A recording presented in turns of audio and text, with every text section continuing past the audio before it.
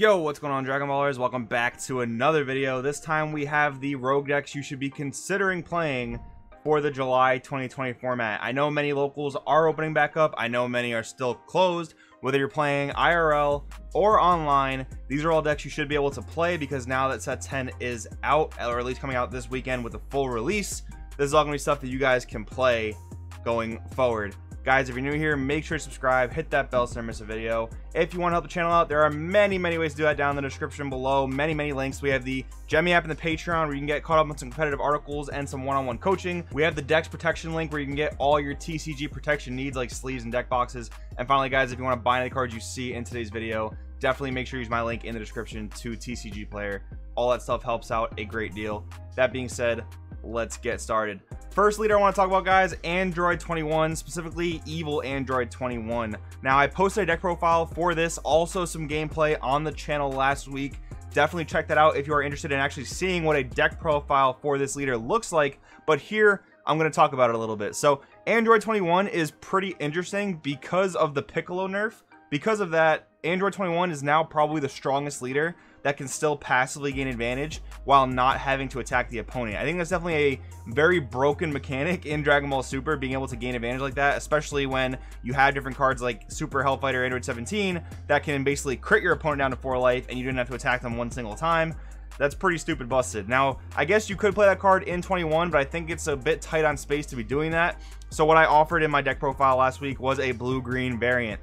And I think it's very, very good. It's a kind of like a combination of gaining a ton of advantage on your own while also hand controlling and controlling your opponent's resources. So I think it's a very, very fun deck for that reason. You have blue, so you have access to dimension magic, which a lot of these hand control decks don't really have. They don't really have flexible energy, so it's kind of like a new option for you there. Now, I talked about it in that deck profile, but I don't really think any of the blue unisons are too good in 21. One of those being the Gotenks 4-drop unison. I think he would probably be the best one. But the build I showed you guys in particular, it's got way too much green in it to be playing the Gotenks. And really, I don't want to cast the unison on turn 4. I want to be casting unisons earlier because I want to be able to use my free counterplays as early as possible. So for that reason, I started to explore the green unisons, and I really found that I liked Golden Frieza Unison of Malice. He just has really, really good generic effects. Draw one, place a card on top of your deck, and then he gains critical. So like I mentioned before, since your 21 leader does not have to attack the opponent, you're free to just attack them with crit every single turn, and he's a two drop, basically 15k. That's pretty hard for your opponent to deal with. And the minus two gives this leader access to something that she didn't really have before, and that is a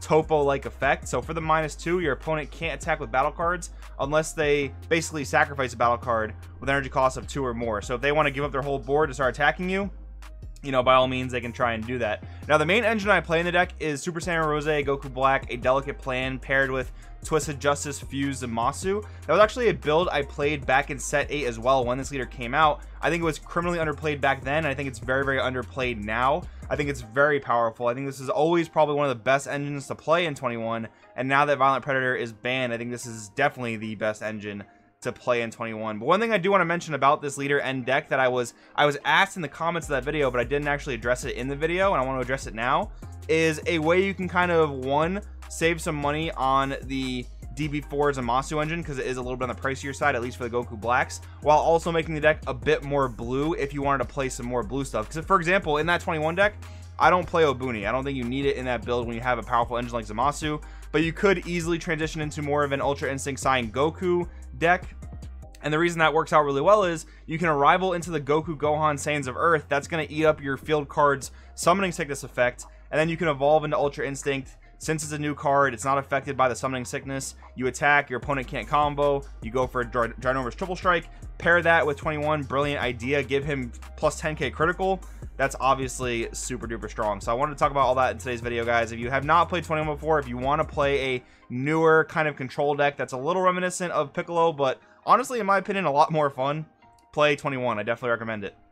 Next up, we're talking about Fuse Zamasu Divine Runebringer. This is the set 10 Zamasu leader.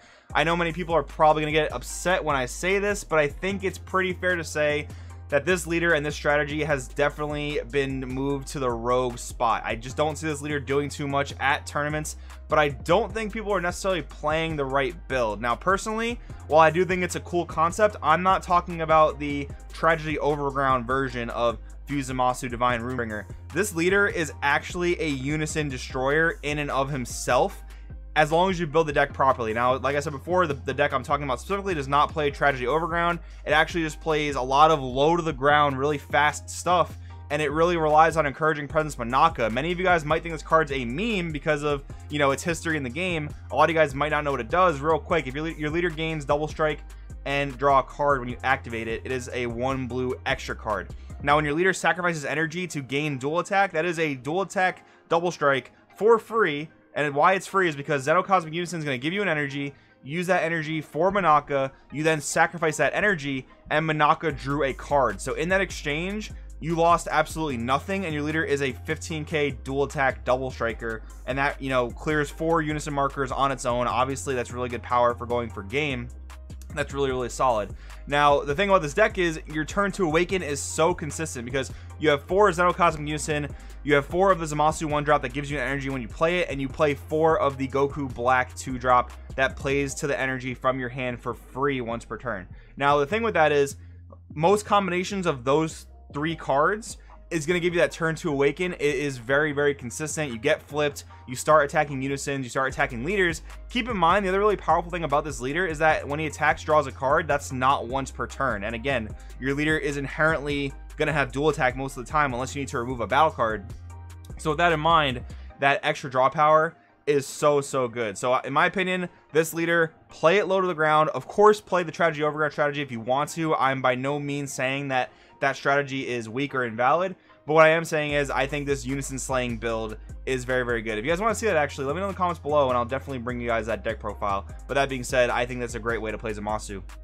Next up, we're talking about Trunks Envoy of Justice. Another mono blue archetype from set 10 that I don't think is really going to see too much meta spotlight, but I think it's actually a really interesting rogue deck to play around with.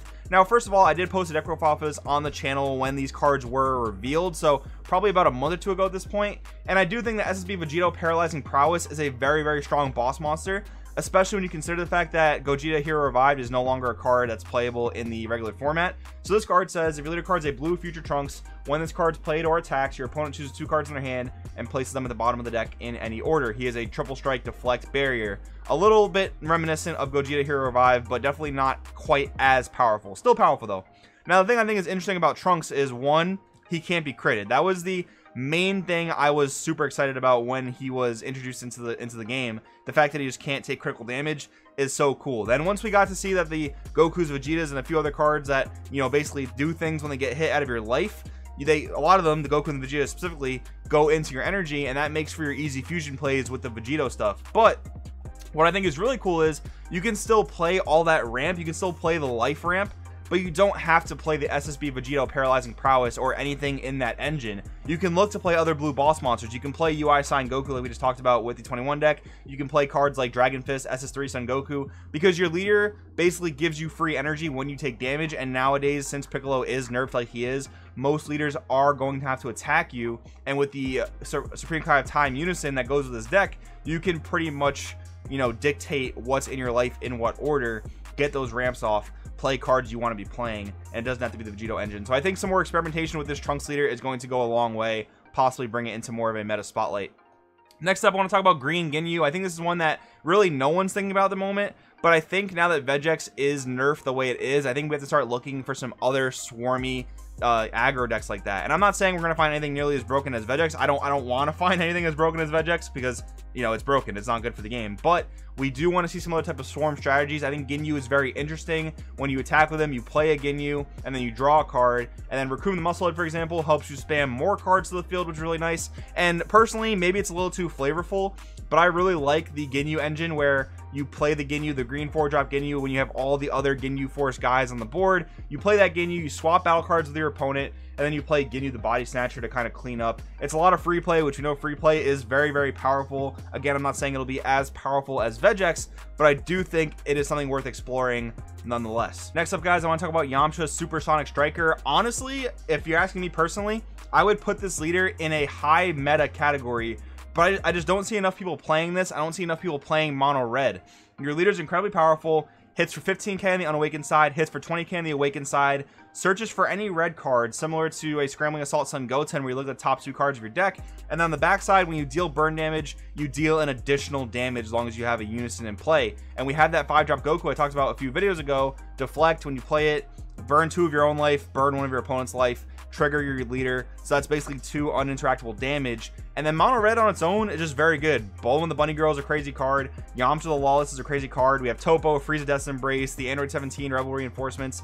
There's just so many good Mono Red cards. I would actually put this in a meta category, but I want to mention it in today's video just because I don't feel like enough people are playing it, and I highly recommend it. Lastly, guys, this is basically a, a section for Gogeta leaders. There are so many good Gogeta leaders to play right now. I've talked about them in many, many videos over the past few weeks. There's so many good reasons to play these leaders, whether it's unisons. With the red Gogeta leaders, the red unisons are so good and so generically powerful that they just make so much sense to play with these leaders because both leaders have double strike. One leader can stop counters, one leader can automatically kill all the powerful one drops we have in the format, Frieza Death's Embrace, Basil Fatal Rampage, things like that. And then you have SS Gogeta the Unstoppable, where he benefits really, really highly off of the Zeno Cosmic Unison. Play a free energy, do things with it, and then sacrifice it to draw two cards via Gogeta's effect. I think it's all really powerful stuff. So, guys, these are all decks I wanted to recommend to you guys now that we are in July. I want to know what you think in the comments below. Give me your recommendations as well. Thanks for watching. I will see you guys next time.